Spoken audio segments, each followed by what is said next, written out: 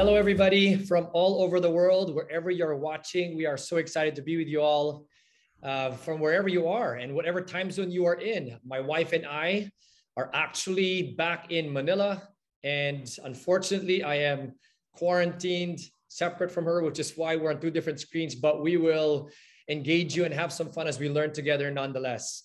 Let's get started with some polls as people are signing up. Uh, we have a couple of polls to help engage you and get to know you better. So we'd like to ask the team to please pop up those polls. Here we go. Let's find out who is joining us right now. Okay, if you see on your screens, we're asking questions like, you know, tell us how young you are or how wise you are, right? Tell us your age profile, your bracket. Tell us also, please, what is your background in terms of profession? We'd like to get to know you so that Family First Global moving forward can help address you and your needs where you're at and get to know you uh, even as we have this webinar with you. Please also put in in the poll your family situation, your marriage status, um, and we want to ask some money questions because this will be a webinar on finances. If you saw the graphic about financial storms and challenges and how we can, can help navigate through these things. Uh, so as you are answering the polls, we are seeing the results and Joy, honey, it looks like similar to last time. We have a lot of young, young folks here, right? Young folks meaning we have those that are in their 26 to 35 is our well, it's fluctuating right now. It looks like it's catching up. It's getting very close to the 36 to 50 year old bracket. And as far as the profession, we are seeing mostly people who are working for a company as well as either business owners or self-employed. That is great. Thank you for giving us this information. And we do have a substantial number of stay-at-home parents, 15% so far. Uh, as far as married status, just to let you know who is with you in this webinar, we're seeing most, a whopping majority, 85% are actually married.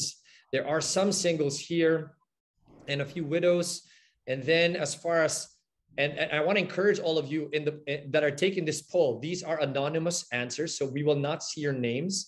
So we want you to be as honest as possible. And if you remember that age-old expression, honesty is the best policy. We want you to please be honest with the questions on finances so that once again we can better address you and your needs. So we're seeing that majority have a family budget. That's great, 75% and, and people are honest enough in saying that, yes, a majority also have debt.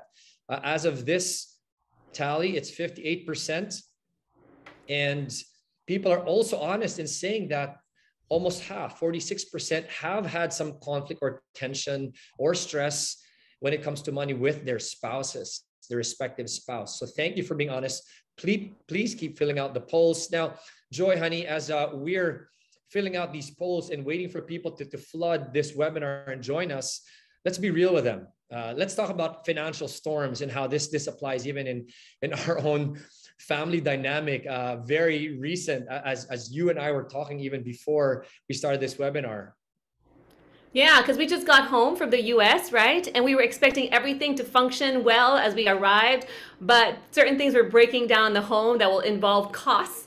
And these are, I think it's emblematic of our times. Like we can't always control what's happening around us, but we, we can control our perspective and our attitude and how we're going to move forward. And so I was blessed by you, Han, because you reminded me. feeling, honestly? I was not feeling that way. I was irritated, but you reminded me, hun, you know, let's have a gratitude attitude. Let's be positive about this. And I'm just so thankful to be here because I want to learn just like we did last time from all these experts. What a privilege for us to be part of this because, hun, we need to keep growing in this area. Wouldn't you agree?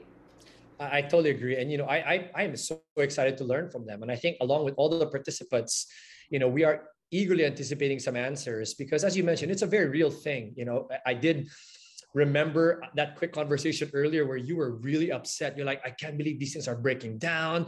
You know and there was this comparison right? Like why is it in the country we came from? Things were more efficient. Here it's like you know and so as you were ranting away i was like how do i encourage my wife you know speaking of storms you know and, and even here at the place where i'm quarantining all the things that i had to to do here had some costs that I was not prepared for. Buying the food, even just getting a glass of milk for breakfast this morning. I was like, I could not believe the price, you know. And so, so and the memes that are going around even right now, honey, right? About even the gas prices in the Philippines where the Filipinos are saying these gas prices are the grades I wish I had when I was in school because they're in the 85.22, 92. So yes, it's a very real thing.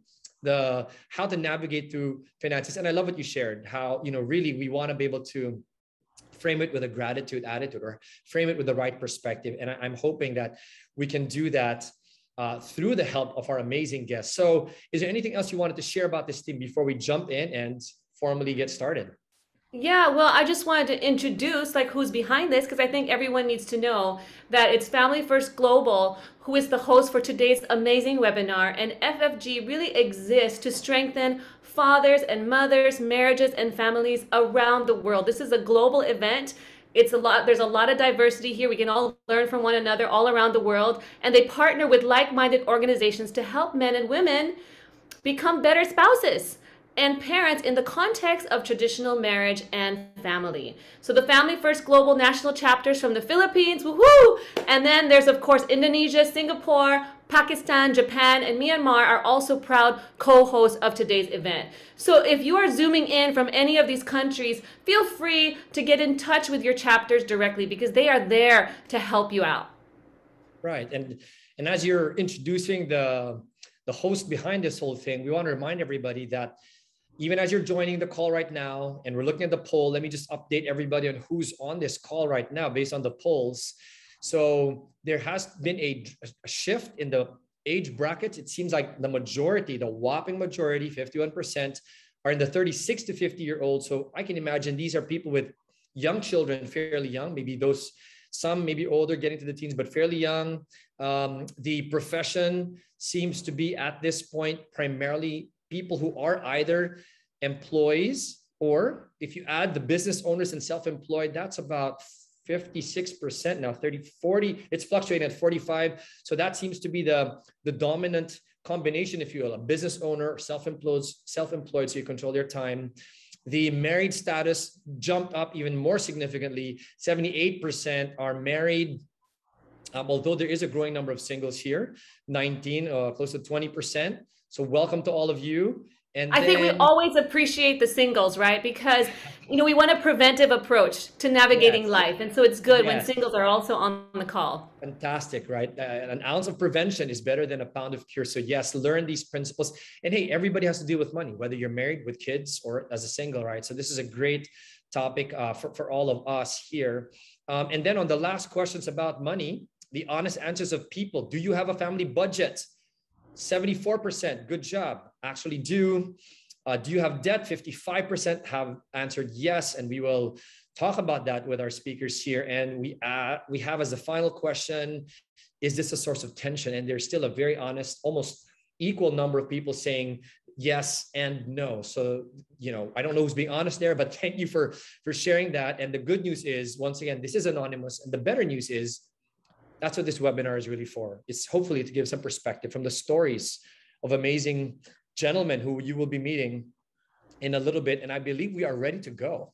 So for those that have just joined us, uh, please continue to answer the polls and we will be able to use that data in being able to serve you better. In the meantime, let's get started. Joy has already introduced my wife, the Family First Global, as the host. Let me now talk to you about this webinar. Family Health 360 is the theme, if you will, of this whole webinar. And it is a series of webinars. It's here to journey with you through the waves of uncertainty and prepare you for the challenges ahead. And uh, as we join, I, my wife and I already opened up earlier, there are a lot of challenges going on right now. As we know, even as the pandemic is raging, there is also a war that is now ongoing. And I was just watching the news and catching up and realizing how, you know what, many of us are still fortunate to be in places where we can have the freedom to talk and have these discussions. So even as all of this is happening, part one was held back in January called Navigating Your Family Through the Pandemic.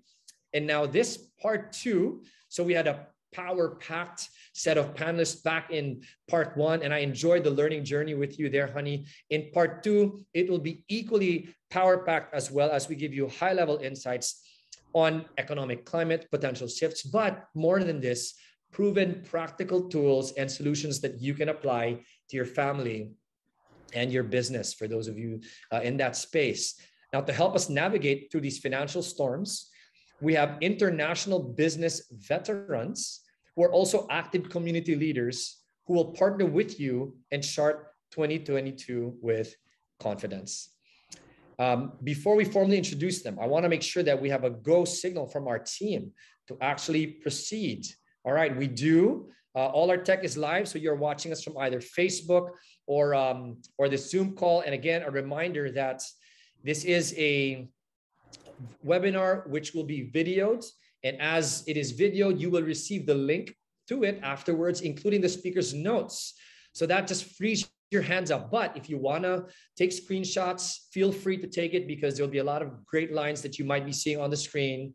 And here's a very important question or an important reminder for all of us. Because this webinar is for you, we want you to ask ask ask your questions and don't just wait until the end put them on the chat boxes in whichever platform you're using and our team will call through these questions and we will try and address as many because we can imagine there will be a lot as many of the questions you pose and we will bring it to our panelists and get them to answer it to the best of their ability. So once again sit back relax enjoy the webinar. You'll get a recording. You can take screenshots but also ask ask ask your question.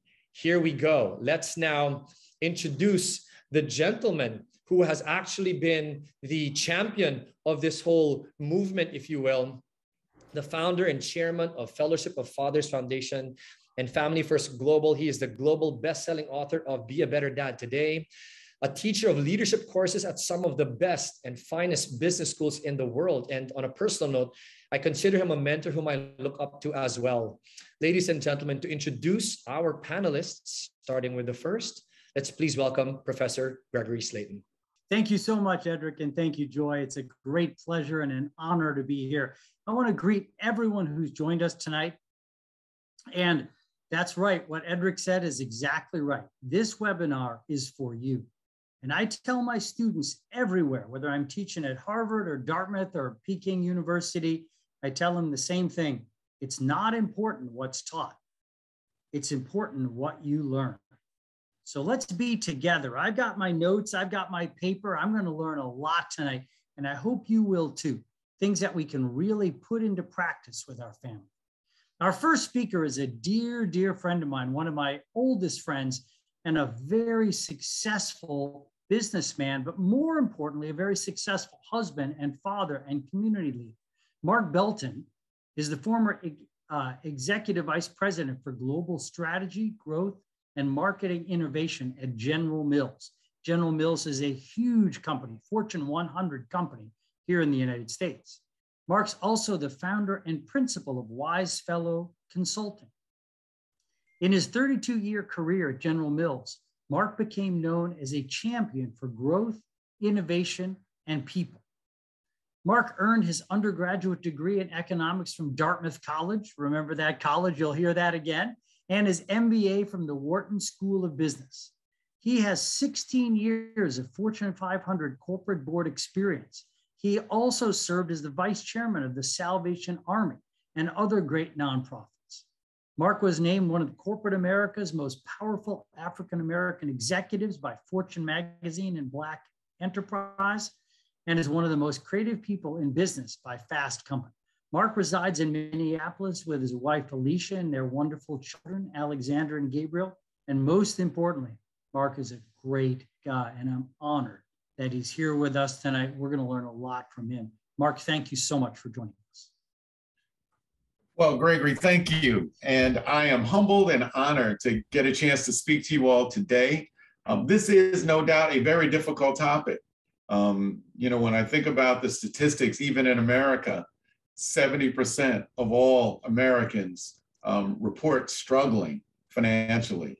And 51% of all Americans say they don't have three months of savings. And um, so when I started to think about this as a topic, I can tell you there's tons of materials out there, so you don't need that. You can get the materials. But I thought it might be better if I actually shared how I learned how to manage uh, money and how to deal with financial challenges. And, and I'll just start and say the way I learned it was through my parents. They uh, grew up during the Great Depression in America. And um, they grew up with large family, large households. My father was one of nine, my mother was one of eight. They grew up in the deep South and they were dirt poor. They um, never had big jobs, never made big money. My father was a New York City policeman. My mom was a secretary.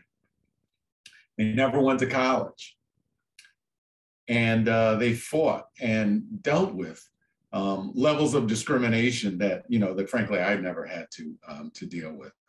And um, they raised two kids who went to college and uh, became quite successful.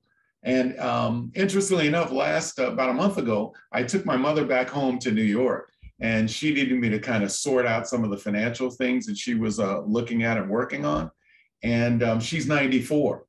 And all I can tell you without divulging, you know, what she's been able to do over these years after my father passed, but I will tell you that she is and has been now able to have an inheritance for her children's children. So for literally her grandchildren, she saved enough to have an inheritance for them. If you wonder about their credentials, I will tell you that there's nothing in the last hundred years like the Great Depression. You know, it was a 10 year period of economic upheaval, um, primarily starting first in the United States, but it affected every country in the world. There was a decline in production. There was a level of severe unemployment, and there was acute levels of deflation. It impacted every country in the world. And um, some people, um, you know, as you kind of study about it, said that this was a time of extreme human suffering. In fact, one person wrote that this was the most severe and longest depression in the Western world in recorded history. Well, that's what my parents grew up with, and that's what they grew up in. So today I'm just going to try to talk to you about two things. First is what did I actually learn from them? And how can you put that into practice for yourself? And then the second question I want to talk, uh, talk to today is also around what have I learned from them about life? Because I can tell you, we lived and grew up with sometimes very little and sometimes a little more, but never a lot. But we had what mattered. And I think those things are really important to discuss, you know, as we're as we're talking today. I can tell you right now, um, the simplicity of, of what they taught me, you don't need a degree from the National Institute of Singapore. You don't need a degree from Hong Kong University or from KAIST in South, South Korea. These things are straight ahead. It's not usually about what you know, it's about what you do with what you know. So why don't we move to my slide and we'll go to the first one and talk about what my parents taught me. First and foremost, the first thing that they taught me is making money is not creating wealth. There are people who make lots of money, save none, and they, as a result, have no new wealth in their lives. They taught me that you need to basically spend less than you make. That's not difficult to understand. Yet, as I already told you, 51% of Americans don't have three months of savings. They're spending everything that they have. 70% of Americans are struggling it was great to see in the statistics um, on this poll that you all all um, say that you have a budget. I can guarantee you that number is not that high in reality. My parents taught me to pay yourself first. And so what that meant to them was that you had to create a goal to save each and every month. And because my parents were part of that Great Depression, and they literally were starving at times in their lives, they literally banked one salary every month. Let me say that again. They banked a salary every month, i.e., they took what came in on both of the incomes that they had and took one and put it away because they never wanted to have that happen again. Um, easy things to look at and talk about, like avoiding unnecessary debt. You know, there is debt that is good you know, debt for a house, even debt and an investment in yourself for going to school, going to college, and the like. You know, that's necessary debt because the best investment you can make in your life is to invest in yourself. But they avoided unnecessary debt, which meant we didn't have, you know, we didn't have a lot of cars and the cars were never new. Um, the other thing they taught me was to invest only in things you understand. You know, there are so many complicated financial investments and instruments out there. Very few people understand them. And as a result, people often get themselves in a situation where the complexity of what they've invested in um, actually robs them of the income and the savings that they have. And then the last one, I think, is probably the most important thing, which is to get agreement you know, with your spouse, with your wife on the plan that you had. Now, interesting for those two, because they both grew up in the same era because they both went through the same hardship, they never had to argue about wanting to save or wanting to make sure that they were ready for a rainy day. But I think it's fundamentally important to have a plan where everyone can align and then get agreement and then go forth and do it.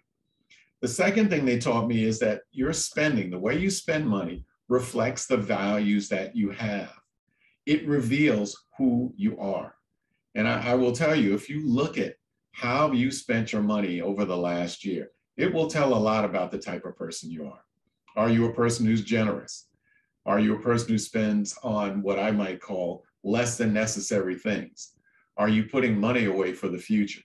Are you getting, are you saving and preparing now for your children's um, academic education? it tells a lot about who you are and how you, how you spend actually reveals your heart. And um, the other thing I'd say is that once you've taken a look at that, adjust it. Base what you want to do on your priorities. Don't be cavalier and don't be casual about how you spend the money that you have. Spend it based on priorities. Spend it based on things that matter to you.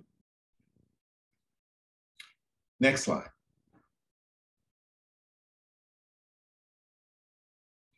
Can we go to the next slide? Thank you. So the second uh, thing I just want to talk to you a little bit about is just, you know, what really matters in life. Um, you can have a lot, you can have a little, but I can tell you that a person's joy and happiness very often does not coincide with what they have it coincides with who they are and how they live. And so I just put this one quote up so that you all could take a look at it today. And it says, What does it profit a man if he shall gain the world and lose his own soul? I'll let that just sink in. So there were four things that we learned and grew up with as a family. The first one was to be people of faith. And to me, faith gives substance to this life it's it's the anchor and the rock that we in our household we spend our life upon. And I just got one quick quote here for you, which is to seek first the kingdom of God and his righteousness, and everything will be added to you. But you have to take that in by faith. The second thing that I think helps contribute this idea of living a life that matters is to have a sense of purpose. And first and foremost, we are uniquely, divinely created beings. And we, because we're here, we matter fundamentally. But because we're here, we have a role as well to play. And, uh, and I've always viewed that as to use our gifts and talents for the glory of God and for the good of man. We're here to contribute to mankind, to prevent, to create a just and wonderful uh, society for each and every person. And we're to use our gifts in that way. And that type of purpose gives you a sense of joy, it gives you a sense of meaning. And I found that that was so important in the things I did in the workplace. You know, we didn't just sell food at General Mills, we actually helped feed the world, we nourished people's lives. And that's a high and noble purpose. And I think when you are doing things that give you that sense of a high purpose, I think it gives you a level of joy each and every day. Next one, family. Um, I always call it first, you start with honoring your father and mother in the way that you live your life. And, um, and I think this is a really important idea below, which is below, and it's just in quotes. It says that family is the center of God's plan for happiness and the progress of his children. So I can tell you, if your family's not happy, you're not going to be happy because your family is the center of the plan for happiness in this world and the progress of his children. And then finally, community. And uh, I just have one phrase there. Um, the idea is to live in harmony with one another. And uh, there's a great scripture in the Bible which says, put on love, which binds everything together in perfect harmony. And we're living in a world right now where things aren't quite that harmonious. We need to do this. We need to get back and start to think about the things that bind us together, um, one to another, and in harmony with one another. So, with that, I'm going to step myself out of the way. Um, again, I never said this was rocket science, but I can tell you it's not, as Greg said earlier in his start, you know, it's not what you're taught, it's what you learn. And I'll add, it's not only what you learn, but what you do. So it's in the doing that makes the difference. So I'll receive questions if you have them. Yeah, thank you so much. That was so inspiring. You know, we have six kids, and I wish I was beside Edric right now so I could nudge him on all those points and be like, babe, we got to apply all of this. but, you know, I think. Nudge. I felt the nudge. I felt Yeah. That's, uh, one of the things I wanted to ask you was you know a lot of us when you were sharing these principles i think we know it in our heads right? And we we even believe in these principles. Why do you think like from your observation of people and their behavior why do you think it's so difficult to transition from knowing about these things and knowing the right thing to do to actual application and transformation in our own lives? Yeah you know that's a wonderful question. I think um, part of the challenge is first we live in such a busy society. We're always on the go. And as a result, I don't think we take a lot of time to actually reflect and think about where we are, um, what we're doing, and, um, and where are we going. So number one, we're moving really fast, frankly, almost as chickens with our heads cut off most of the time. And we don't take time for reflection. I think the second thing is it's hard to do because many of us are driven by, you know, status, um, other values that are contrary to the four values that I had up on that table, where you feel like you need that extra thing. Um, you know, that one watch is good, but five or four or five would be better. And, um, and as a result, we're always in tension between, you know, what we know and what we like versus what's really important. That's a great question, though. Thank you, Mr. Belton. Um, you know, before I, I, jump in, I have like a hundred billion questions for you right now, but I'm sure the audience does as well. So if we can just encourage everybody that's just joined us, maybe those that have heard this, please put in your questions here on the chat box in the platform you're using, because again, this webinar is for you and we'd love to hear questions. Um, but I'm going to jump in with a question as well, uh, Mr. Belton. You know, if there's a, someone in the audience here who wants to work for General Mills, can they go through you? I'm just kidding. That's not my question at all. no, my main question is uh, we saw from the poll earlier that um, almost half of the participants have been honest in saying that money has been a source of conflict in their marriage as husband and wife. And one of the key principles you just shared that you learned from your parents is you need to make sure that you get agreement with your spouse on financial plans. So my question is, what if you don't? As we've heard from the participants, there's conflict. What if the spouse does not want to agree? And that is the source of conflict, uh, is the way that they handle the financial plans. What is your advice then? Number one, that means that you need to spend more time together talking about what your goals and your dreams are. And you need to put those together together. You need to work on them together. You have to take the time to be sure where you're trying to go as a couple and where you're trying to take your family. And if you spend the time on that, I think you've got a much better chance to actually execute it if both people are talking and both people feel they own it. You know, that, that's the other part of it. If one person's doing all the talking, then one person owns it. Um, but you have to really work together on that. Fantastic. Um, and I know we have, uh, like I said, so many more questions for you, Mr. Bell, but we'll pause that and we'll ask people to put it on the chat box and we will now go to our next speaker. So please hang in there. Uh, we will address more of your questions. And Mr. Belton, I'm excited to ask more from ourselves and from the audience. In the meantime, we'll bring back, once again, the, the champion and the mover for Family First Global, Professor Slayton, who will introduce our next guest. Thank you. You're on mute, Professor Slayton. All right. Thanks, Edric, and thanks, Mark. That was great. Uh, always learn. I, I've, I've known Mark for 40 years. Every time I listen to him, I'm learning something good, and that's great. Uh, Glenn Yu is a dear, dear friend, and anyone who's from the Philippines knows Glenn because of his great work at SEAOIL Philippines, the largest independent fuel company in the Philippines. But what I, where Glenn was CEO for many years, is still the chairman. But what I find fascinating about Glenn is, first of all, he's a very humble guy. And you know, God opposes the proud, but gives grace to the humble. That's something the Bible tells us over and over again. And we really see that in Glenn. And second of all, I love his family story about how his grandfather founded the business, passed it on to his dad, passed it on to Glenn, but not just the business, the values, the ethics, the morals that made a great business. We're going to hear a lot from Glenn.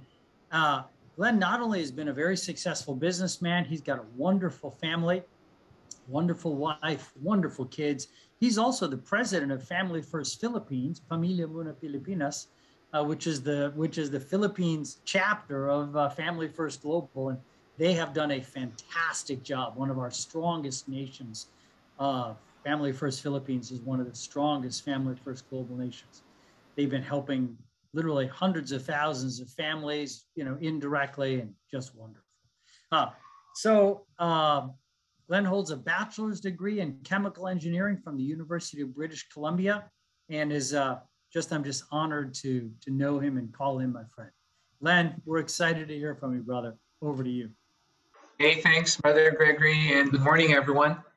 So we live in an increasingly VUCA world, volatile, uncertain, increasing in complexity, and more ambiguous. Like it or not, we live in a cycle of boom and bust as reflected in the global stock market. It's part of life. You know, in the last 100 years, as the slide shows, there's been about 13 US stock market crashes. 14 if we include the, the latest one in uh, involving the Ukraine and Russia conflict. And of the 14, eight um, of those, more than 50%, have happened in the last 25 years. So they're no longer few and far between. They're happening more frequently and increasing in intensity. So financial storms have been brought about by bubbles, war, and in recent times, pandemics. And we need to change our mindset um, and uh, ask perhaps uh, not the question of if they will happen, but when they will happen. And look at how um, we can proactively prepare for these difficult times. So today, I hope to share with you how these storms have shaped my own life and that of my family, and how we've prepared for and dealt with them. In the chart, I've inserted two storms in the timeline. The first one is uh, the 1979 oil crisis, and the next one is the 1997 Asian financial crisis. So sharing a picture of me in 1979, I hope it doesn't traumatize any of you. Uh, and if my wife is uh, watching on live stream, uh, especially, uh, my parents actually were uh, gasoline station operators in 1967. So I grew up uh, uh, at the gas station, and the Iranian Revolution caused oil prices to spike, causing supply shortages and very long lineups at the pump. And uh, this is when uh, my mom and dad decided to put up an oil storage terminal. And uh, the business and industry that I'm involved in today was birthed in the midst of a crisis. People ask me how long I've been in the oil business, and I tell them that I was born into it. So, fast forward 18 years to the Asian financial crisis, and the Philippine peso uh, dropped from 26 pesos per US dollar at the start of the crisis to 46.50 pesos in early 1998 to 53 pesos in 2001. Then interest rates skyrocketed uh, overnight rates, reaching um, 32%. That's right, 32% in 1997. So this was the backdrop of when I met my wife, Jack. Uh, in the US, um, as um, Mr. Belton mentioned, money arguments are uh, uh, quite uh, often uh, the leading cause of the you know stress and the anxiety between uh, husband and wife. And because of this, many single people decide to put life on pause during storms. But can you believe it? Our love story started at the eye of the storm and uh, we got married in uh, 2000 in the middle of the crisis. So with with the recent spike in oil prices, there's plenty of memes. Um, Edric was mentioning uh, one uh, a while ago about bringing uh, uh, their grades up to the price of oil. And another meme is bringing their spouses to some place expensive, and that's the gas station. And we were doing that 25 years ago. I brought my wife um, then my girlfriend uh, Jack to the gas station. Uh, I shared with her the financial struggles uh, to make debt and interest interest payments to our creditors, to pay suppliers, to make payroll, and to collect overdue receivables from customers because of the crisis. And I told her that uh, this would be the life that we could expect in the near term if we chose to get married. And I can tell you 25 years later that we persevered. We made it through that storm and the, the eight more storms that came after. So you may be wondering and asking yourself the, this question, and uh, maybe uh, if you are in a financial storm right now, what do I do? It's very important that you communicate your concerns with your family, your spouse, or girlfriend so that they can help you do the following. One, you have to change your lifestyle. Uh, stop the bleeding. Second, you have to have a budget. Third is you can restructure your debt. And last, you can pivot and adapt to a new environment. So let's find uh, out uh, about each one in more detail. The first one is about changing your lifestyle. I like this quote by Dave Ramsey. He says, we buy things we don't need with money we don't have to impress people we don't like. So if we are spending on things uh, that we don't need and are more uh, about wants, then we need to face uh, the problem. We need to sell assets that are not essential. The golf share, the gas, the gas guzzling sports car or van, that gym membership, uh, where we, that gym that we never go to. So in our case, in order to make payroll in the business, we cut costs. Uh, we turned off the air conditioning even um, during the summertime when it was uh, the lunch break. And uh, instead of eating out for lunch, we would bring home cooked meals to the office. We carpooled to work. We put off going on vacation. Uh, we did everything we could to stop the bleeding. The bleeding. Next is we restructured our debt. Uh, in Romans chapter 13, verse 8, the Bible says, Let no debt remain outstanding except the continuing debt to love one another. So I get this question a lot. When are we in debt and not in debt? So we are not in debt if we are able to pay that uh, outstanding amount whenever it is due. And we we find ourselves in debt when our liabilities exceed our assets and we don't have sufficient cash flow. And uh, last is that when we are in a constant state of anxiety over money matters. So here are some things that you can do if you find yourself in debt. Number one, consider debt consolidation. Uh, so if you owe uh, multiple credit cards, it makes sense to take out a loan at a lower interest rate to pay off all your credit card debt. Second, work with your creditors. Don't hide from them. Ask them to reduce the interest or extend the pay down period for the principal. And third is seek help through debt relief. If you need to, there's no shame in filing for bankruptcy. You know, Jack, after using her credit cards and spending more than she was able to, um, decided to literally cut it. Uh, did you know that not paying your outstanding balance in full on the date is due is one of the most common mistakes that young couples make? And by paying the minimum each time and assuming an interest rate of about 15%, that it will take 169 months or 14 years to pay off the whole amount. By that time, you would have paid more interest, uh, 1.4 pesos for every peso you borrowed from the credit card company. So whatever item you bought from your credit card would be long gone and you would still be paying for it. So next time you're tempted, and I'm speaking from experience, remember it's not worth it. Third is rework your budget.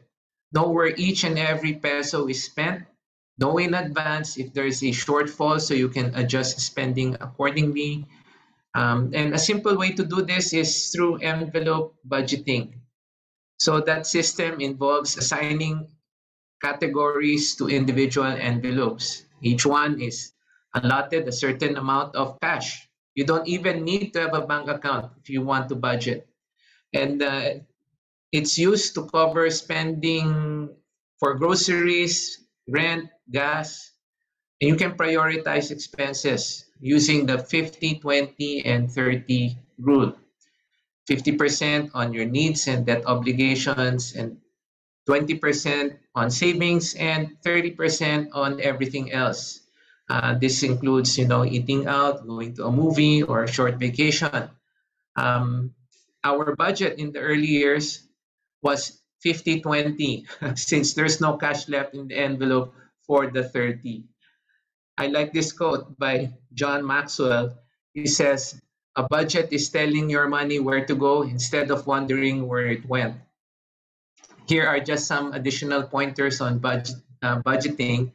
Number one, have the more financially savvy spouse manage the money. Number two, avoid misunderstanding uh, by uh, making sure that each uh, person, the husband or the wife, have transparency in their expenditures.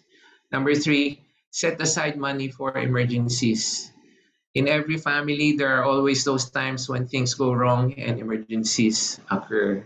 So by setting money aside and saving a portion of your income for the unexpected, uh, it helps a lot without messing up your budget or having to borrow money. So I learned a lot from uh, Professor Gregory whenever he speaks, and he always gives out assignments. So this is my assignment for you, for all of the participants on the Zoom today. Now, I want you to make a list of your spending that are wants and not needs and find out how much you are uh, spending each month and how much you can potentially save if you give them up. So here's a sample list. Um, you know, soft anywhere from soft drinks, soda, coffee, junk food, movies, uh, and cigarettes. Okay, and uh, here it's a little over nine thousand.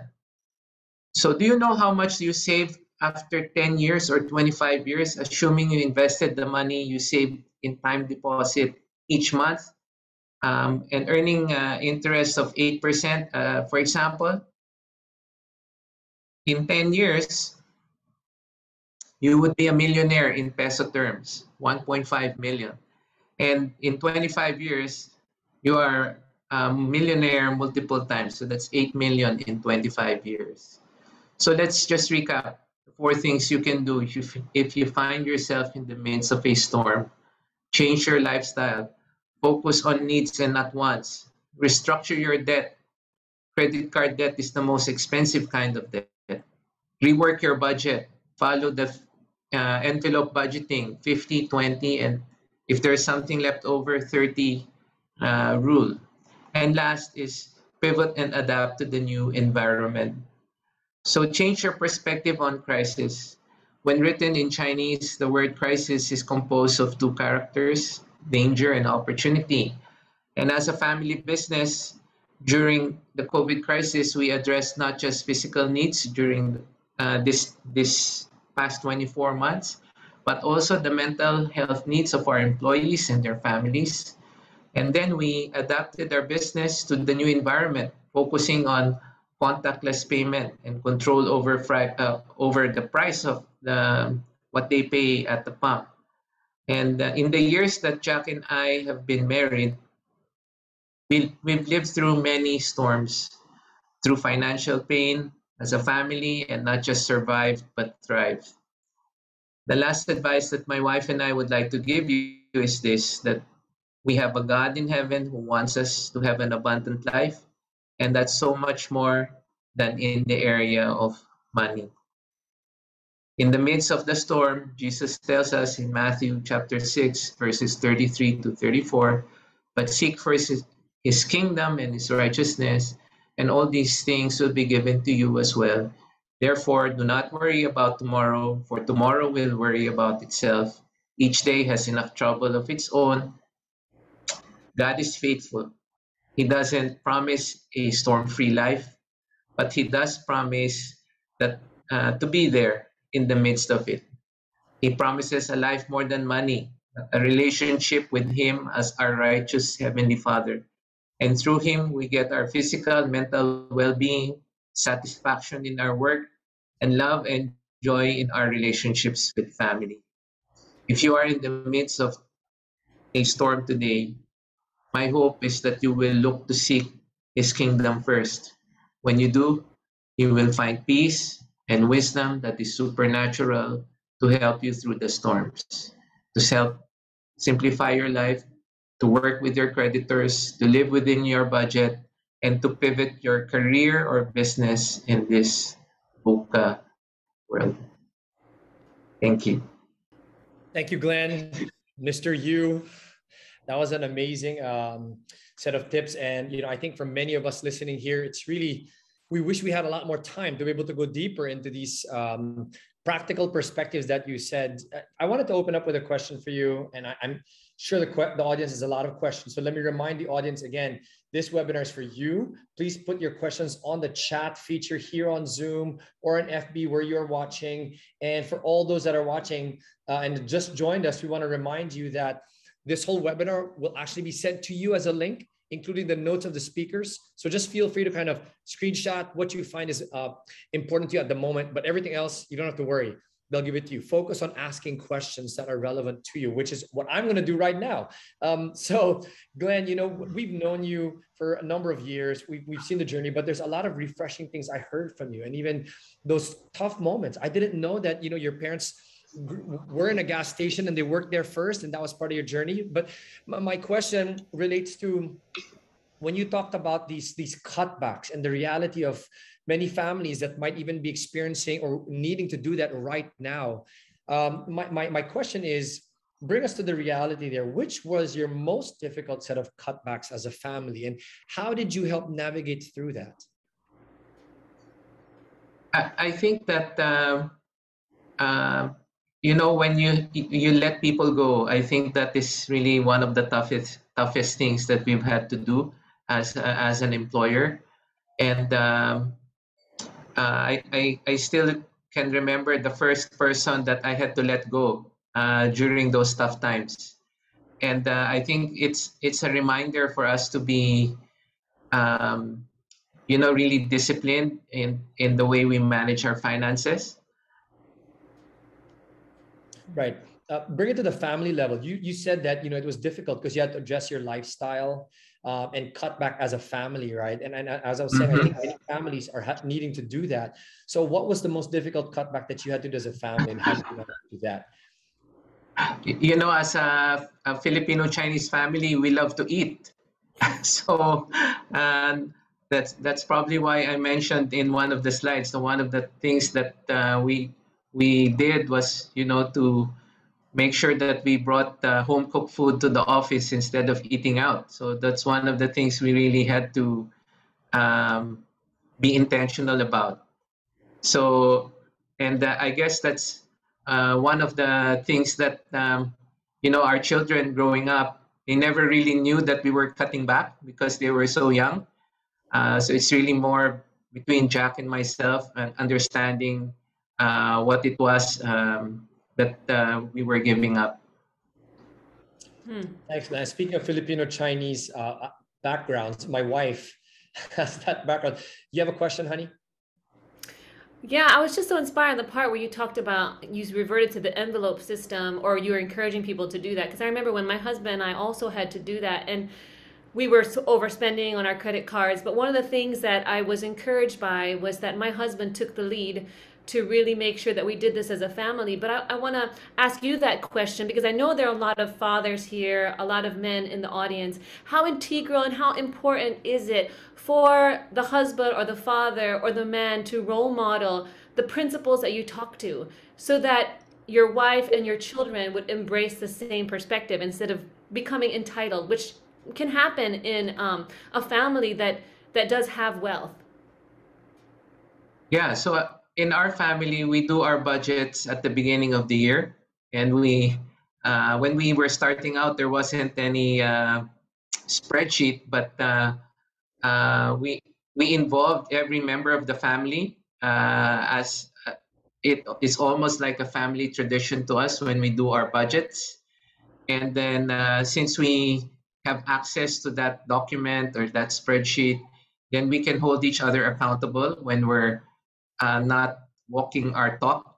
And uh, that's happened uh, uh, more than once in our family, especially given that now that we have grown children and they they're aware now of uh, um, our spending habits as well. That they they often uh, would call us out and say, "Hey, Dad, I thought our budget for this is uh, just this amount. How come this month you overspent?"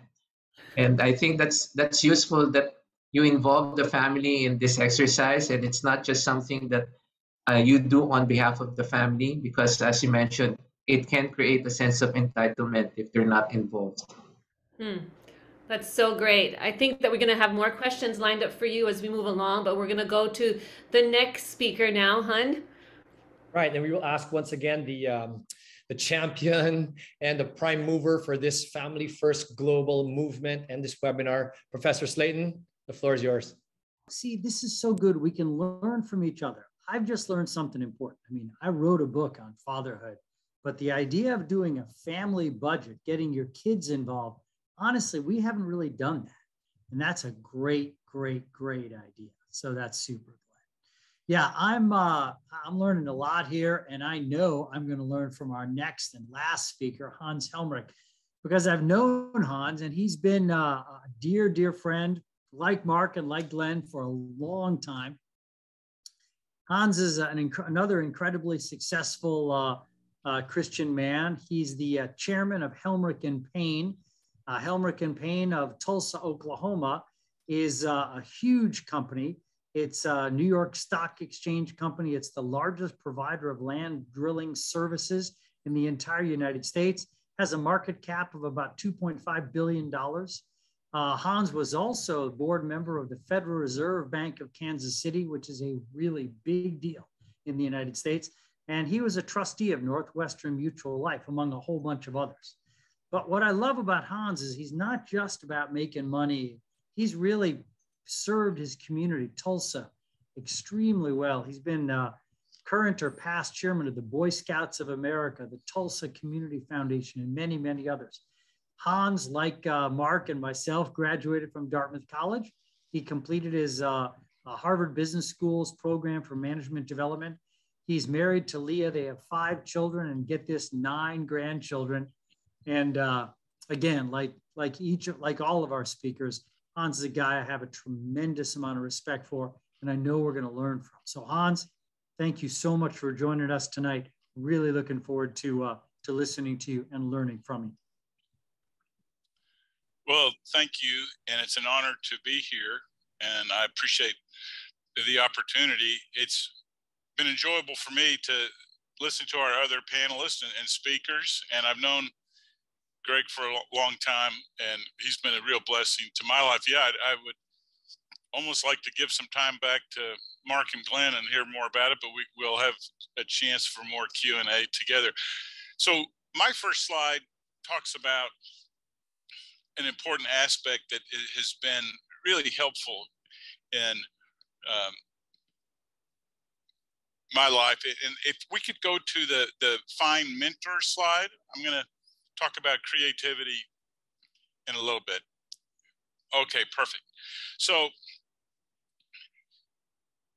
in finding mentors, I want you to just imagine for a second if you were in the room alone with Glenn and Mark, and if you had a chance to visit with with Greg, just in terms of a relationship and a mentoring opportunity, and, and a chance to in this same format, but it's just you with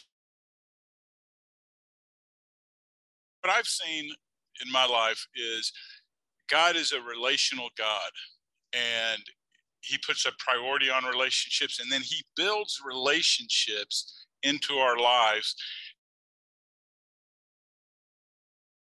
Uh, Mark's mom and dad, we've heard Glenn talk about family, and that's been true for me.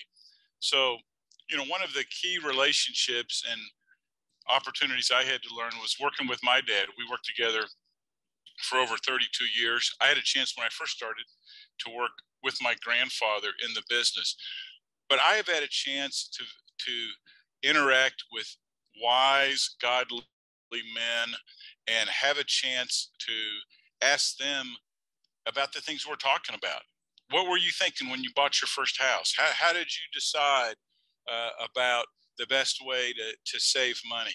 What was what was your thought when you were young about beginning to make a plan to pay for college for the kids having conversations i, I have a chance today uh, it's a real joy for me to mentor some some people and it's surprising in a way that when i will talk about these types of things and just a conversation around finances how often they'll say you know i've never talked about this to another person you know besides my spouse I, have never gotten any advice about some of the priorities or some of the things we, we should be thinking about. So it's just a telling thing. And I think one of the things that happens is, and in particular with finances, I think the enemy tries to say to us, oh, you have to be an island unto yourself. You have to pull back and isolate. And then it can even be darker than that. It can be, oh, you earn this money. You don't have to get anyone's permission. Uh, you're the boss. This is money that you've earned. It, it's a very sinister way to try to isolate us and uh, take us out of relationships. So, my first advice to everyone on our, our call today is find godly men and women that you can have real conversations with and have a chance to hear some of the things we've been hearing tonight. I love the scripture that says, The ear of the wise seeks knowledge. That's in Proverbs. And I think it's just so true that God wants to build relationships around our life. You know, there's a slide if we could go to about debt, but I'm only going to spend a couple of, of moments on it because we've heard some good things about debt and about uh, some of the dangers involved. You know, I'm in an industry, and Glenn talked about this too in the energy business. We are very cyclical. We see prices go very high, very low. Right now, we're in a high price uh, environment, but it's just so hard to predict. We don't know the future. We serve a God that knows the future, but we can't tell what the future is. And almost invariably, the industry has overlevered in good times and paid a terrible price in bad times. And that not only pertains to businesses, it, it, happens in our family because the world's message is, oh, you can have it all now. You can have it all now. And there's easy credit. We can arrange low interest. Oh, you can get an extra credit card. Uh, and it's true in the business world that banks are your best friends when things are going well and they want to loan you money. You even have celebratory dinners around. I, I, would go to a couple of those and think, wow, we're celebrating because we're borrowing money. Uh, that doesn't seem that doesn't seem right. But when the difficult times come and you have to pay it off, it's less friendly at that time and it's more serious. So that's really what I want to say about debt with just one other comment is the Bible says that the borrower is the servant of the lender. In another place, it talks about the borrower is like a slave. But what we know is we're not servants and slaves, we're sons and daughters to the king. And by being in debt, it tends to put us in a mindset of being a servant and a slave. So I would just encourage you put the effort into reducing and then finally with a plan of, of being out of debt. Okay, if we can go to the next slide on just generational legacy. I was blessed by Mark talking about his mom. Uh, Mark, my mom's 94 as well. And it's hard sometimes right now. And a lot of us said that we have some debt, and, and that's fine. It's just I, I hope we can think about it differently. A lot of us have talked about having difficulty with budgeting and trying to make it work, sometimes week to week, month to month. But I'm convinced that God wants to give us a generational legacy in the way we think about our finances. He wants to, even if you're not in a place yet to act on that, He wants to you to think about how do I bless my kids and my kids' kids.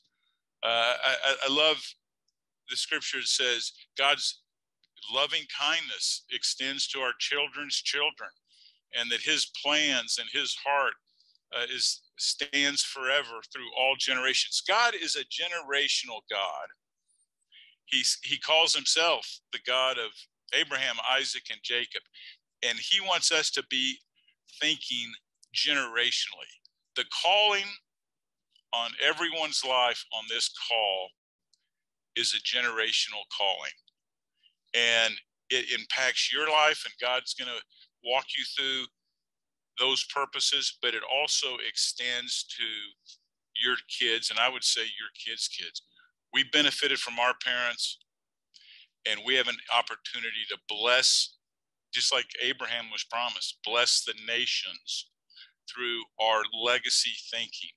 And finances can be a tool for that you know, the last thing I want to say about this is just the joy of giving and partnering in the kingdom. And it doesn't have to be in a big way, it can be in small ways. The first way we partner is in having real relationships with brothers and sisters that we're praying for, that we are joining together.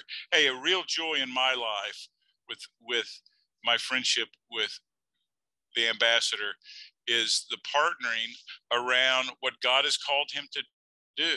And, and just in making uh, small contributions, I feel like we are in God's kingdom work together. God is working, He's calling each of us to work. And I love that thought that we get to enter into another man's labor. Jesus talks about that, if you remember, and he says that the sower and the reaper will work together. The, the reaper will even overcome the sower. It's like this coming together because in God's kingdom, through relationships, we have this chance to partner together. And I'm encouraging us to think about our finances as a tool to do that, to, to work and respond to God's calling to partner in the kingdom. You know, my last slide is on creativity and you, you might think well what what is a slide on creativity being here? But i really believe that god is uniquely gifted all of us. God is a creative god. I love when he says i'm about to do a new thing and it'll spring forth. Will you be able to perceive it? God has given each of us a creative gift that helps us find solutions in your world. So, in your job, in your family, He will give you ideas and a new perspective on ways to be creative. And, and the market pays for solution. The market pays for a creative fix. Hey, it's it's easy to go to the boss and say, "Hey, boss, we have a problem," but it's not so easy to say, "Hey, boss, we have a problem, and I have an idea. I think we can fix this." One of the great traits of our company is the innovation that is part of our culture and our value system. My granddad, who started the company 102 years ago, he would not recognize the drilling rigs that we put out in the field today. And your grandfather wouldn't recognize the phone you use or the car you drive. If he went to the doctor's office with you, he wouldn't recognize that. Why is that? Because creative solutions, innovations drive a sense of wealth and God's blessing. And so I just am going to encourage you. And you might say, well, I'm not in a workplace, I'm in the home. I love watching my daughter, who learned from her mother, my beautiful wife of almost 42 years. I love watching her come up with new things to do and new ways to teach her kids and new activities around the home. So she is being creative and coming up with new solutions. I, I love the, the, the example of a beehive. And think about it just for a second. You know, a beehive is this complex system, and some bees are they bring air into the hive, and other bees are exhaust bees. There are honey bees, there are queen bee. Every bees have a role, but that role is exactly the same as it was yesterday, and they're going to do the exact same thing tomorrow and a year from now. They were doing it a thousand years ago, but that's not how God designed us. God designed us to be people that can walk into our environment, change the atmosphere, be positive, come up with an idea. And what I like about this is the market will pay for you. God will promote that type of solution driven thinking.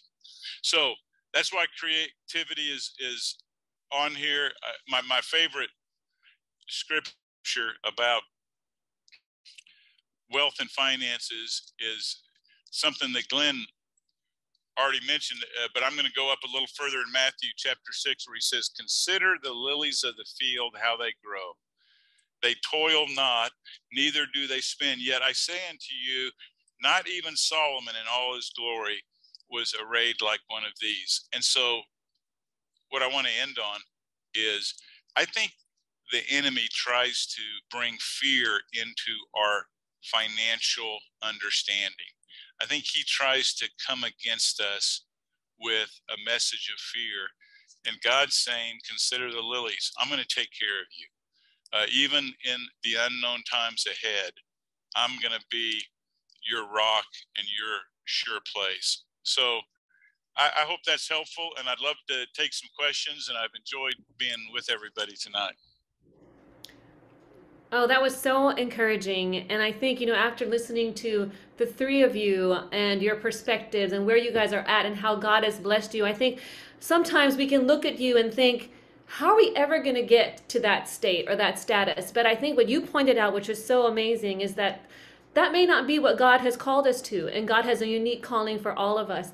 And so, can you expound a little bit more on how we can have that courage to keep going when things don't seem to be going our way? Let's say God has put a calling, a uniqueness in each of us, and instead of comparing, He wants us to pursue that. But it gets hard when there are a lot of issues and problems that we face. So, how do you, um, how can you encourage somebody to keep going even though it seems like everything is against them as they pursue this vision or calling or uniqueness that God has uh, ordained for them? Yeah, it, it's it's a great it's it's a great question, and you know I'm I'm a big believer that God speaks to us, and He speaks to us oftentimes a, a word of of encouragement or uh, a, a, word uh, that, like you're suggesting, Joy, that hey, you can do this, you can keep going, and, and so part of what we can do, I believe, is think through well, how does God speak? And and I, I know some things I can suggest. You know, one is just esteeming his word more and getting in the word more because God will speak a rhema word to us that really it comes out of the logos word, but it becomes life to us and real and a rhema word for the moment. The other thing I know because it's happened in my life so many times is God has used a relationship in my life to encourage me or give me an insight or a have you thought about this? Why don't you try this? And it's been life changing and I, I can just think of so many times where i think even to that person it doesn't didn't seem like that big a deal but it was a big deal to me. And i'm certain now that it was a setup that it was the spirit of god putting them in the right place and me having the benefit of, of that relationship. So you know those are those are a, a, couple of things that come to mind but i think also we not only hear his voice but joy when you said sometimes it just feels discouraging you know we have another voice that we have to contend with and jesus talked about it. You know jesus talked about not only being able to hear his father and do what his father says. He said i only say what he says and i only go and do what he tells me to do. But he also talked about another voice and and that voice was the enemy's discouragement. And the enemy is so often trying to discourage us and and to tell us something that we're not or treat us and you know I, I like that saying that um, the enemy knows our name but he calls us by our sin god knows our sin but he calls us by our name and we need to discern the enemy's voice so we can say, you know what, I'm just not going to listen to that. I'm not going to give that room. I'm not going to give that mind space. So those would be a couple things I would recommend. Thank you, Mr. Helmerich. Um, you know, I wanted to jump in with one question before we invite all the other panelists back. And as expected, we have a flurry of questions, a lot of different ones for all of you, and we're excited to unpack that with all of you. But one question from me for you, you know, part of what impacted me with your story, Mr. Helmerich, is the fact that you've had generational wealth and you talked about legacy and generations passing that on um, my, my question is on a, on a deeply personal note did you ever feel pressure to be able to carry that on and, and if ever you did how did you deal with that? Because there are families that may be listening here that are also in the same situation right? Their parents have been able to do something and now it's something that they're passing on. So so speak to that. Yeah I, will try to. And, and Ed, Edric, I think something that was life changing for me is when I very first started to work, my dad, my grandfather, who started the company, was still coming to work in a suit and tie, and he would get there at seven. And I wasn't very smart, but I thought if he's going to get there at seven, I'm going to get there at six forty-five or six fifty. And we had a chance to have coffee and and and visit and and spend some time together. Well, I didn't know then that in less than nine months he would pass away. So that time with him w- was really important. And I can remember standing by his bedside and thinking to myself, hey, everything he did that I'm so proud of, everything that the world kind of acknowledges, and some of the money that he made, and some of all of those accomplishments don't matter now. The only thing that matters right this moment is his relationship with God. The only thing that is important now for the next thousand, million, hundred million years in eternity is that thankfully God is a friend of sinners and Jesus came to save, to seek and save the lost. And, and so here's why I say that it sets your priorities in a certain way. And, and then it makes you feel like, wow, well, yeah, I, am I'm, I'm glad I have a chance to work with a company, but the company is not the most important thing in the world. You know, I'm glad I have a chance to have some of these opportunities and benefits, but these aren't the most important thing. And so the most important thing is kind of what Joy said. What did God call me to? What is my purpose? And then how can I hear him speak into my life in a way where I have an opportunity to walk that out and make the choices that that help facilitate that. Thank you, uh, Mr. Helmerich. And you know, just like the other panelists, as I mentioned, I have 100 billion questions. So now is the time to do that. We will invite the other panelists back on the call. So Mr. Yu, Mr. Belton, it has been a privilege just learning from you in this short time. And really, that's what it is. When we talk about a massive, uh, you know, topics and the implications of it surrounding money, there's really so much to to talk about. So, honey, I think you want to jump in with the first question from one of our viewers. Go ahead. Right. I think one of the questions that was fielded, but I'll rephrase it a little. But it was if there is one hindsight, um, probably concept on finance, finance that you believe changed um, you 180 degrees, not not 360, 180 degrees over the years, what would that be? But I'll rephrase the question, and any of you guys can jump in to ask it. But if you could tell your younger self something about money management, what would that be? And any of you can jump in to answer this. I think probably the first thing I would tell myself is to get alignment, you know, with your wife. You know, there's so much struggle that happens in this area when you're not on the same page. And, uh, you know, and everyone around this table can honestly, if we're being honest, will say there have been times we haven't been on the same page.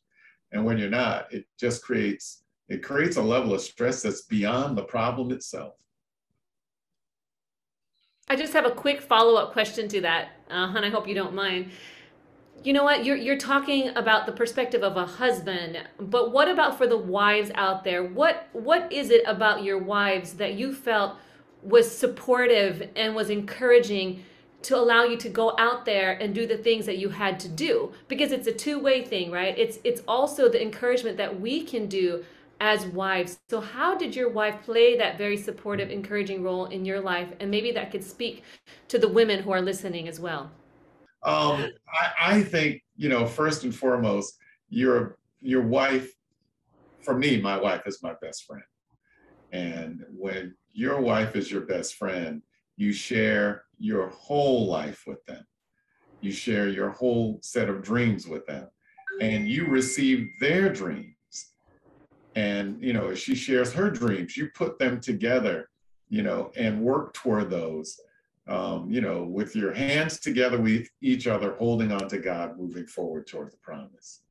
And um, and you know, interestingly enough, when when we got married, our minister told us to create a um, a family um, mission statement, and we created a mission statement before we got married, and actually put it on the back of our wedding program to tell people what we thought God was telling us to do and how we should live. Great response. And thanks for that follow up question, honey. I have to say that you are my best friend as well. And maybe we should do our mission statement, just like what we heard. Can we ask uh, Mr. Yu, what would you tell your younger self? Uh, well, not to put your life on pause when you find yourself in a financial crisis. And uh, um, uh, reflecting on, you know, uh, the 1997 Asian financial crisis, I was actually thinking, we need to uh, dig ourselves out of debt and we need to do all these uh, bunch of things before I focus on, um, you know, fast forwarding uh, through life and maybe finding a life partner and maybe uh, uh, changing that mindset and taking a risk uh, and sharing with someone who is not your wife and you, the person that you might be interested in as God's best for you letting her know that uh, you know times are tough, but maybe uh, if she wants to persevere through that, that uh, uh we could uh, do it together. So that's probably what I would share. Thanks, Glenn. And you know there was about 19% singles in this call, so this is a a move that you want to do also beforehand, as as Glenn or Mr. Yu was sharing. Thank you for that response, Mr. Helmerich. What would you tell your younger self? That's a great question. I, I, I think I would say worry less, be less anxious, and try to step back and have a higher horizon point.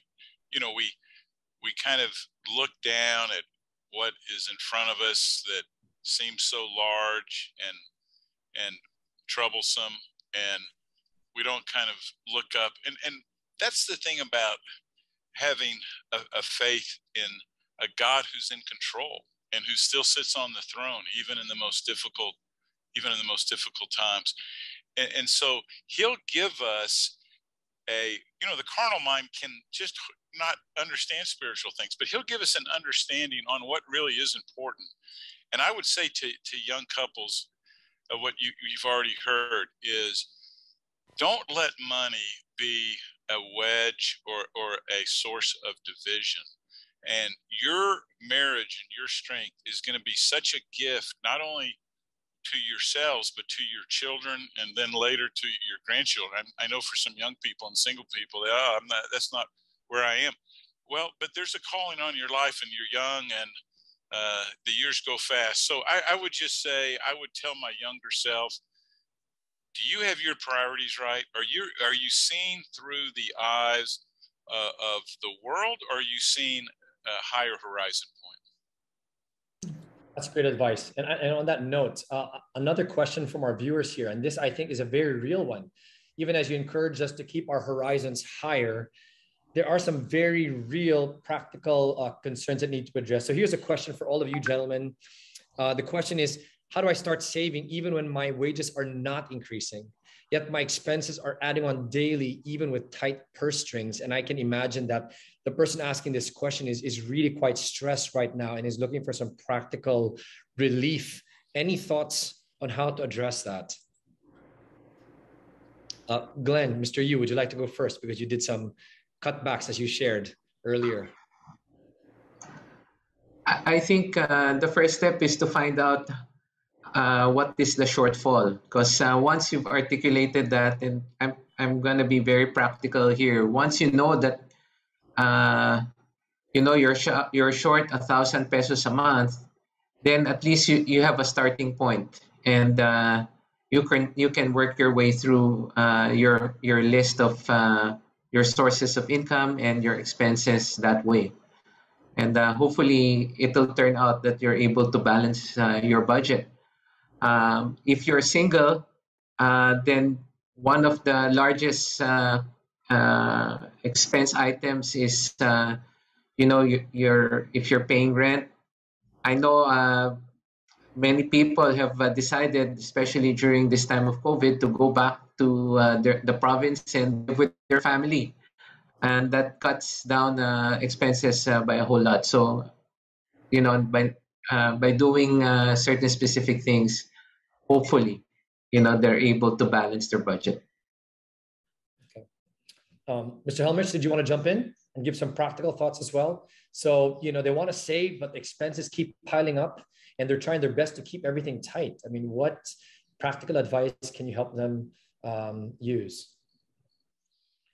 Well, it's, it's a good question. And, you know, I, I know I, I've said in our business before where we've had to really cut back and try to economize, you know, we can't cut our way to success. I mean, we can't just work down the nub uh, to where you're not only cutting flesh, but you're cutting bone.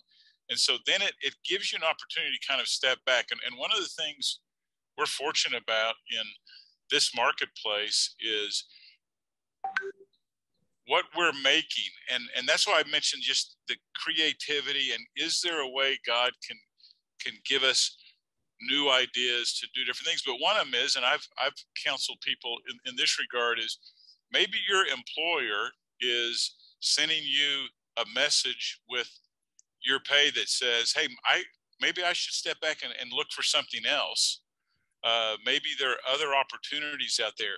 I, I can tell you in several conversations in the last six months, investors and business people I know think, "Hey, one of the real pinch points is going to be labor going forward and, and good people that you can trust, that have integrity, that tell the truth. And so if we bring those things as Christians, then we should be valuable to an employer. And maybe the, the problem is on the other side of the equation. Uh, and I'm not I'm not discounting or saying don't don't cut back. And I also like the idea of even if it's a small amount of savings, even if it seems like it doesn't even matter. And I would say that too with your generosity and giving. Even if you can't tithe right now, give something. Get in a motion of giving something, save something. Uh, so those, those are uh, some ideas, Edric. Thank you. Uh, Mr. Belton, you want to jump in? Yeah, you know, I think I would pick up on both what Glenn and, and Hans have said in different parts of their presentation.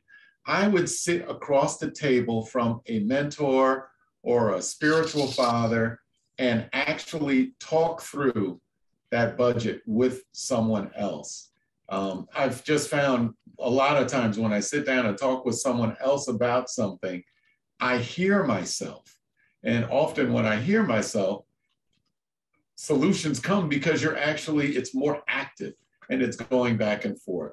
So I think, you know, number one, spend some time and talk this through with someone you trust. And, and very often you'll get a solution there. You know, uh, I think Glenn said pivot, you know, around areas that you might need to rethink that you thought were sacred cows, but maybe aren't so sacred anymore, like finding a roommate, moving back home, find another job. You know, there are lots of options but you need to talk it through with someone. Get some wisdom with someone else. Hmm. Thank you, Mr. Belton. Now, before we go to the next question, you know, part of the, the wisdom I also gleaned from another gentleman in another webinar is also repurposing your assets, right? If you are, are tight and you have expenses to pay and you know you're, you're looking for other income streams, there may be things that you can actually literally sell to help cover expenses right? Things that you can use in different ways so it can become an added income stream for you, kind of along the lines that the gentleman shared here. So that that might be a way to look at it also expenses are piling up and you know you, you feel really tight then you need to unlock uh, more of the income stream so thank you again for the wisdom gentlemen joy honey you have a question from a viewer um, yeah i just wanted to to um, to add to what mr belton was saying that if you're looking for mentors this is a great place to start because uh, Family First Global is here for that very reason. They want to help you guys not just in your family relationships, but also in these different areas that they're, you know, giving seminars and talks about because that's their burden. So if you're wondering, because there was a question here, where do we start when it comes to looking for mentors and people whom we can trust? And I'd like to assume, um, Professor Slayton, that this is the very place where you can find people who will walk alongside you as you journey and, you know, have these challenges that you're facing. Uh, now onto a more practical question that was also fielded, and maybe maybe uh, Mr. Yu can answer this, but the question is: Is there ever a time when debt is good debt? And you can be speaking from. I mean, you obviously you guys are, are you're coming from a perspective where these are massive companies, but on a practical level, in the day-to-day life of an average per, average person, is there ever a time when when debt is good debt? And that's the question that was asked. Yeah, I think uh, in in several uh, circumstances uh, that can be good, and I see uh, Mark nodding his head because I remember him mentioning it also in his uh, presentation. Um, if it if you're taking on uh, a, purchasing a home as an example and putting in equity in your home, then that would be a, a good opportunity as well to consider uh, taking a mortgage on that property. Uh, and why why would I say that this would be good debt? Uh, is that it's something that uh, at least uh, uh, in normal circumstances will appreciate over time. So it's not something that you're say buying a car and using borrowed money to buy a car that doesn't work after five years. When you take a mortgage on a house, um, after 10, 20, 25 years, the, the value of that property is probably double, triple what you what you paid for in the beginning. So that might be an opportunity that you would consider. Thank you. I think that question was answered uh, very well. So, Han, we can move on to the to the next one. Yeah. So I think part of the questions we're also hearing here have to do with children, right? Um, you know, we've talked a lot about aligning with your spouse, and a large part of what you learn from your parents and how this is vital. Uh, could you speak to the families here with children and, and how you get them involved in the discussions about money? In do you actually think it's wise to involve them in any of the planning for the family's finances? Uh, do you think it's important that they know the realities? Uh, you know, for example, Glenn mentioned earlier that the kids did not experience the cutbacks you know it was really the parents doing it. So speak to that. In a time like this how is it best to engage your children on the financial journey or in financial matters? Mr helmerich did you want to go first?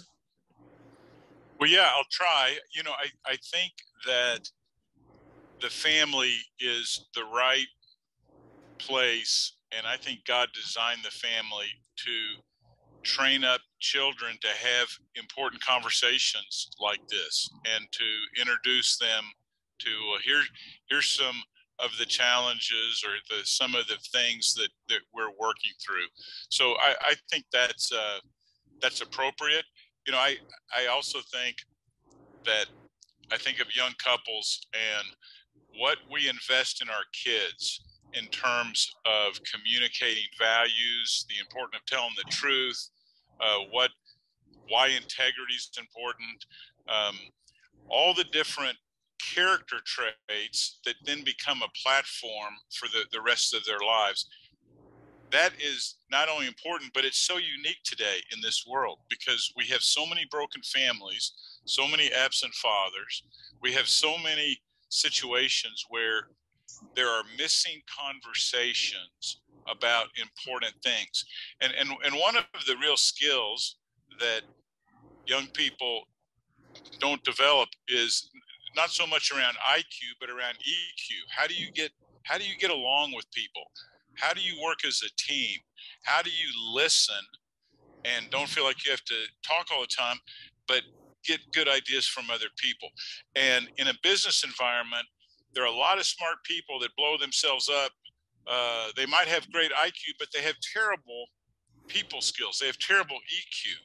And we are uniquely in a position as believers to impart some of those important values to our kids and, and just what we think is simple things, just caring for people, being kind to people, um, helping people, make other people's success around you so there are a lot of things you, and that's why I would I would say to people uh, that thought I had an important job and made a lot of money and you know all, all, all of all of that. I said, hey, my wife is raising five kids.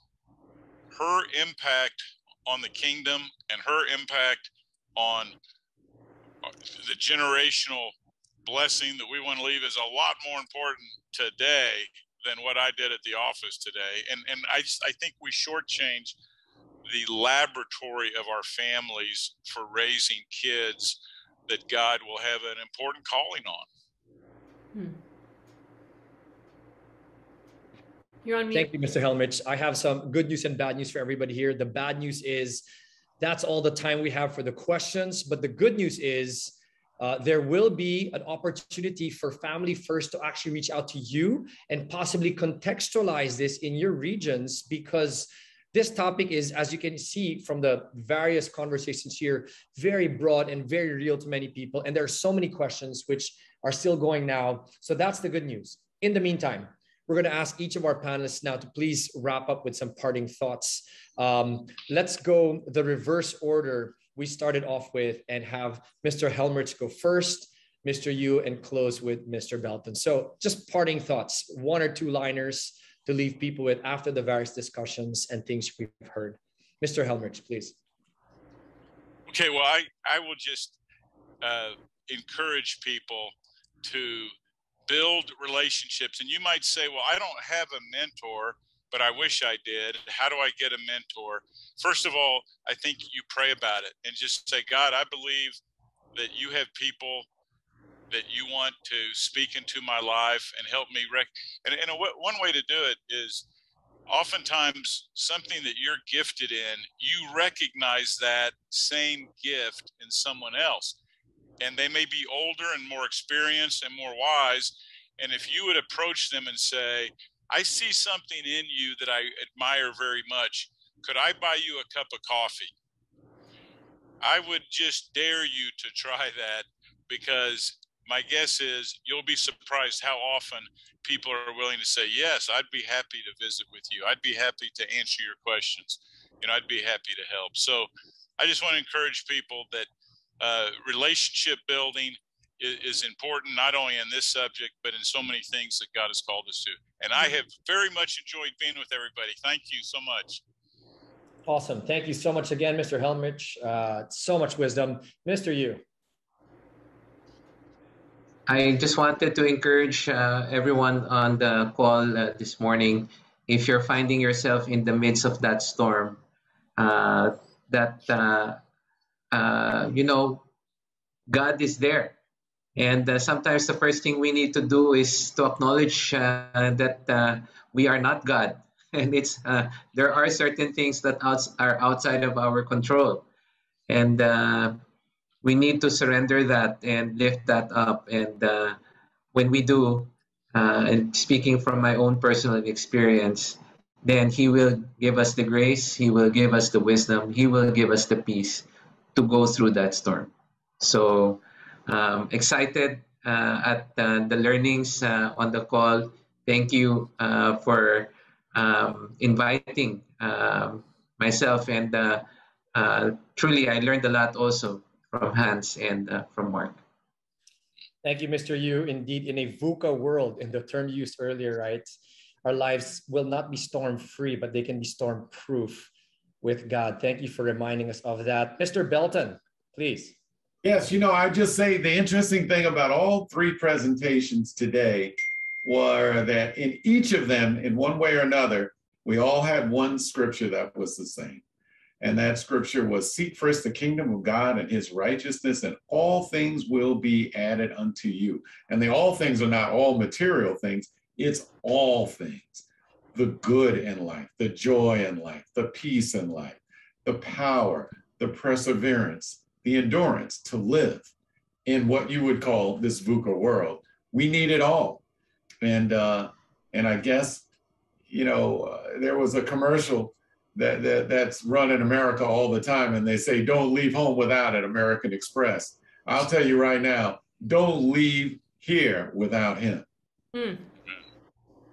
God bless you all. Thank you so much. What a privilege it is. Let's appreciate all of our speakers once again. You can put your emoticons on the chat if you want, which wherever you're watching from. Honey, let's formally close. Yeah, I was just going to say that I think one of the things that I admire about each of you, um, beyond the fact that you guys are very successful in the fields God has called you to, is you you are successful at home, and that's such a rare combination.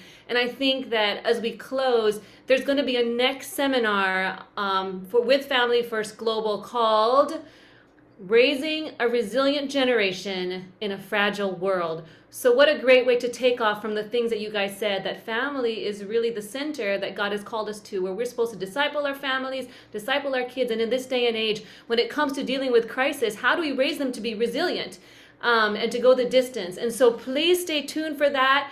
Um, and I want to invite you all to check out Family First Global's website and learn more about what they are doing. This is great. We totally need this in this day and age. And you can also refer to your local chapters, Family First Global local chapters, for more information as well. Awesome. So thank you guys for joining us. Before you sign off, we need your help in making this better. You know, the greatest room in the world is the room for improvement. So we have a quick poll for y'all. Please just uh, join this poll as you wrap up and you know we'll have our panelists say goodbye to all of you and you guys can turn your screens on and your audio on so you can also say goodbye to our speakers if you appreciated this free webinar for you here are the quick questions number one please be honest with us how would you rate excuse me how would you rate this webinar the options are there. Number two, how likely are you to join the next one, which uh, my wife Joy already shared? It's very exciting. And the third, final question, very quickly, is what topics are you interested in? We want to be able to serve you. FFG wants to be able to serve you. So this is very helpful for them. Thank you for filling in the poll. As you do, we're now going to call all the panelists to please come back on and our, our champion behind this, Professor Slayton, who will just wave to all of you and thank you guys. Please fill in that poll as you go. Once again, goodbye to everyone. Thank you for joining us. God bless you. Feel free to pop on your videos and your audio to also thank our speakers, whom I'm sure you've learned great things from, just as we have. So thank you once again to the FFG team. Thank you to Professor Slayton, to our speakers, and to all of you.